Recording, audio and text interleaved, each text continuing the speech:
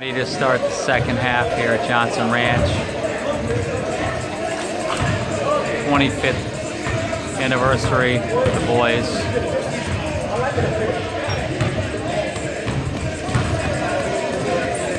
The commissioner, Kevin McDowell, man behind the scenes who makes it happen.